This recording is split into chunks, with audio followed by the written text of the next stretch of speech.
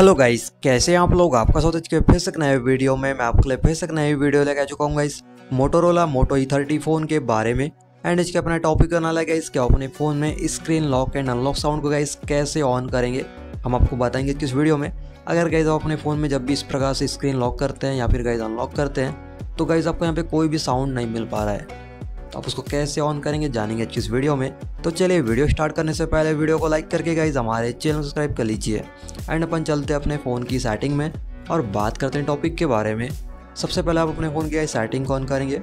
अब आपको चले जाना है साउंड एंड वाइब्रेशन में। अब गैस आपको थोड़ा नीचे स्क्रॉल डाउन करना है। अब गैस आपको यहाँ पे देखिए ऑप्शन मिल जाता है स्क्रीन लॉकिंग साउंड का। आप इस पर क्लिक कर लेंगे। अब गैस आपके फ़ोन में screen lock and unlock sound का इनेबल हो चुका है। आप अपने फ़ोन में इस प्रकार से गए सिंपल तरीके से जो screen lock and unlock sound को इनेबल करके यूज़ कर सकते हैं। मैं मिलता हूँ आपसे नेक्स्ट वीडियो में। नए टॉपिक साथ, तब तक ले बाय